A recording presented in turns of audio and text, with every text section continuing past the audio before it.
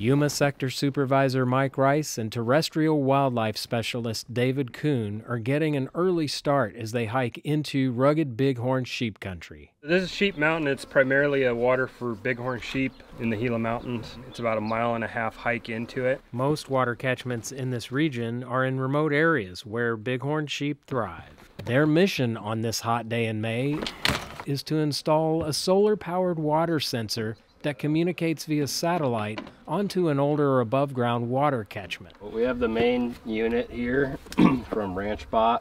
Comes with a solar panel. It's got the battery, all the satellite um, stuff is all built in. It's all just a single unit. So this is a rain gauge that ties into here.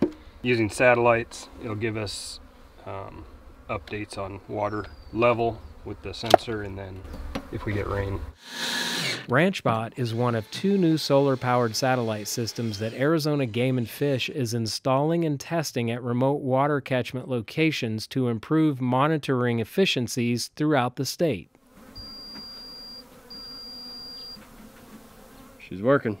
We monitor this once a month, and so we'll fly, fly in a, in a fixed wing aircraft, and then take pictures of the tank. That's why we have the marks on the side. That way we can, uh, from the air, tell roughly how much water's in the tank.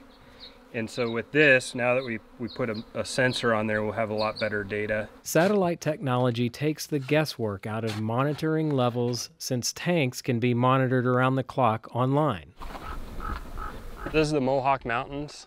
There is very, very little natural water in this range. We're up at Mohawk number one water catchment. This is a sheep water. Yeah, this is a 7,500 gallon fiberglass ring tank. And it's one that we have to haul to with a helicopter. And so what this allows us to do is keep a much closer tabs on how much water's in the system and plan out when we need to haul to it with using a helicopter.